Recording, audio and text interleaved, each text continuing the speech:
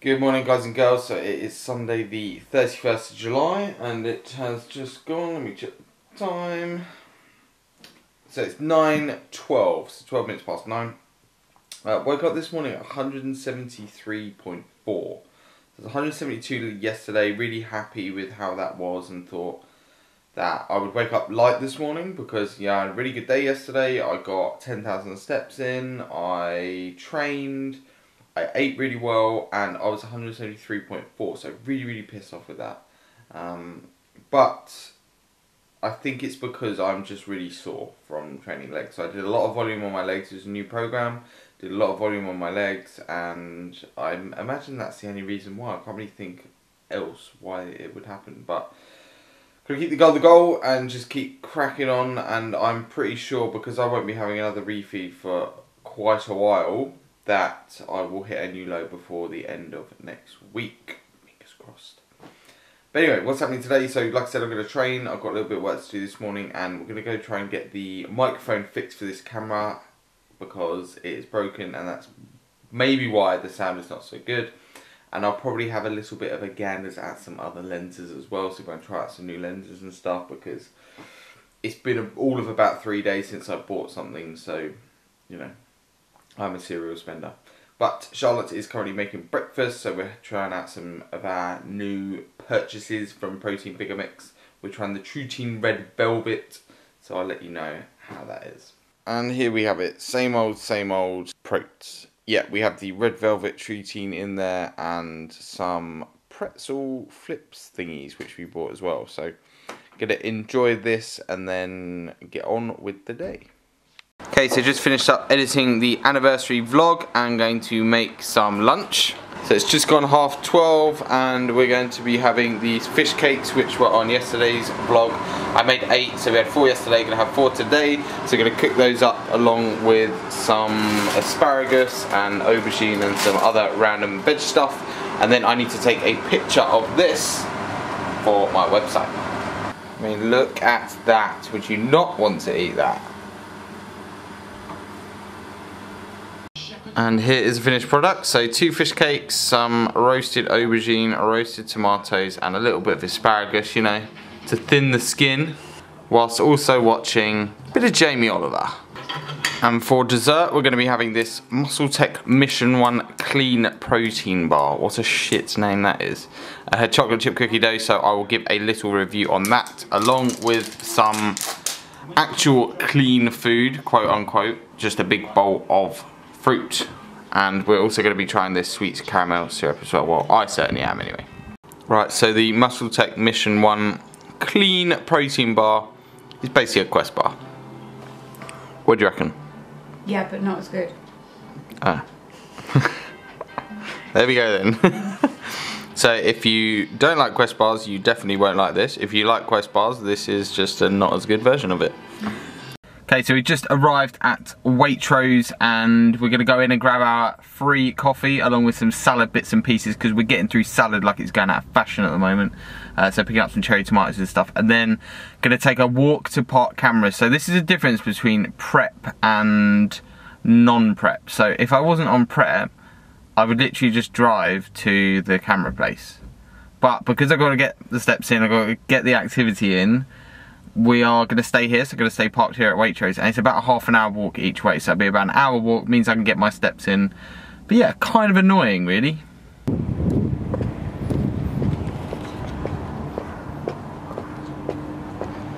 Okay, well, so that was completely pointless. So the problem is that I've got the microphone on top of this camera, but it's very intermittent. So you go in to show someone and just hoping that it's not going to work, but it worked.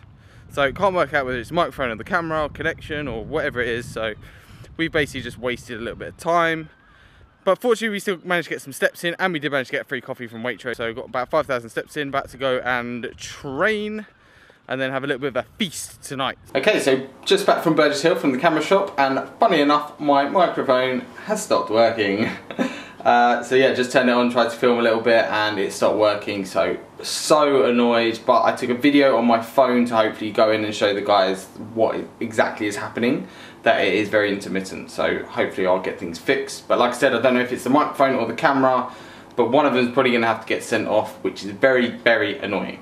But to cheer me up, I'm going to have protein bar number two of the day. I say I, we are going to share this protein bar. So it's, oh yeah, chocolate birthday cake one bar. Now, I imagine it's called one because there's only one gram of sugar, but the actual macros of it are very similar to kind of other like Quest bars and stuff like that. So one bar, 210 calories, 7 grams of fat, 25 grams of carbs and 22 grams of protein. So not bad macros, but again, very suspicious marketing on this one, but I'll let you know how it is.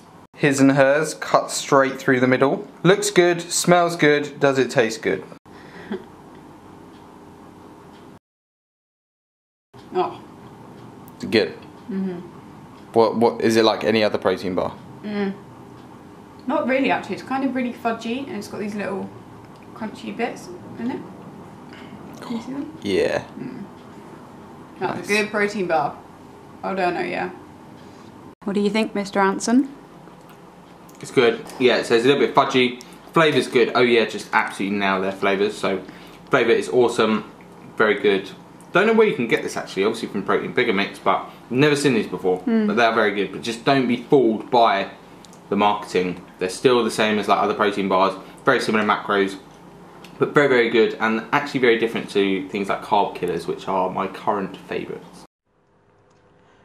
So I had a pretty decent workout this workout. I kind of felt like halfway through is it's a real struggle to get through to the end of the workout. So after the kind of my main movement, it is a little bit of a struggle, but managed five reps on 110 bench to start off, which I'm really really pleased with. My bench actually hasn't moved that much. I haven't dropped that much strength, and surprising because it's normally the one that drops off first. And my squats and deadlifts are suffering a little bit.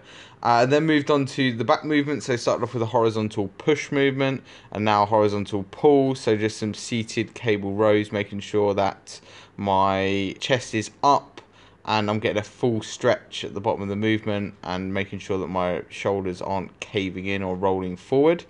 And then moved on to a vertical pushing movement. So went on to the military press and I did 65 for sets of five.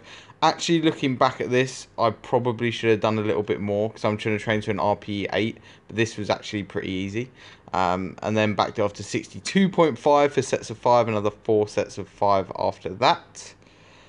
And then I moved on to some underhand pull downs. So the vertical pull here, so wider grip than I normally take. I find I'm really struggling to engage my left lat at the moment. It seems to be fine when I'm posing and stuff, but actually when I'm performing a movement, I can't really feel it that much in my left lat, and I think I've got some sort of internal or external rotation issues in my left shoulder. Uh, and that's stopping me from engaging my lats. Now it looks like I am, but it just doesn't really feel like it when I'm doing the movement. So I don't think I'm getting maximum engagement. But yeah, pleased with how my back is looking at the moment. So still looking quite lean, and then moved on to some supine grip single arm cable extensions. Say that five times fast.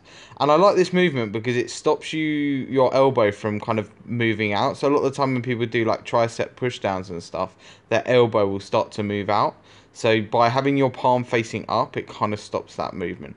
And then just to keep things simple, I simply put the rack right down to the bottom and just did single arm kind of con- concentration bicep curls. And these looked and felt pretty good uh, and just noticing more and more definition on the daily. And then again, to keep things simple, I moved on to single arm cable lateral raises. So getting a nice little lean, potentially a reduced range of motion compared to uh, a dumbbell, but I just really love this movement. And whenever I'm doing this movement, I'm thinking about throwing the cable away from me, and I find that really engages my delts. So yeah, pretty decent workout. Okay, so just back from the gym, and I had a pretty decent session. I still have zero motivation to train, but I got a decent pump on, and now it's just a case of just getting through the sessions and trying to be as strong as possible, and really using things like music and stuff to try and motivate me. Although I've lost my headphones, which is kind of annoying, so I didn't get to do that today.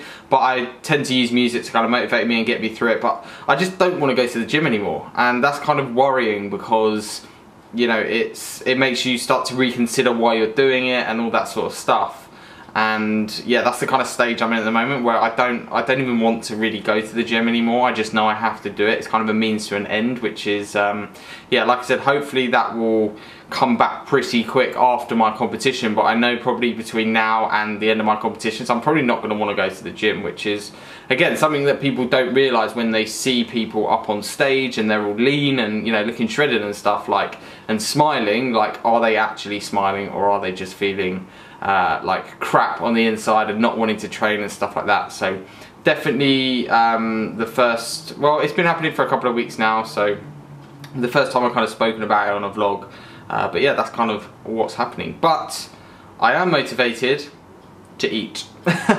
so we're gonna make some dinner and we've got kind of like a three course dinner tonight that we're kind of randomly making up. So I'll show you exactly what we have.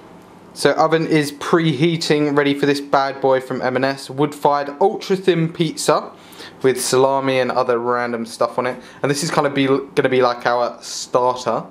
But the macros on it look really, really good. So the whole thing is 394 calories. So obviously we're going to be splitting this in half. So just under 200 calories each and only about 8 grams of fat. So looks pretty good and we'll let you know how that is and that's going to be followed by some hache steaks and a salad and something for dessert which we haven't quite decided yet.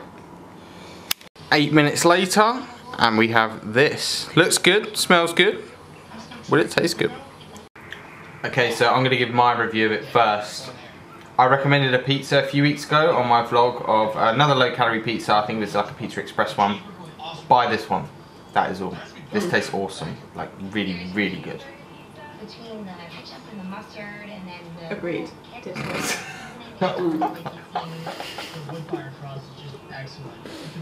what a beaut.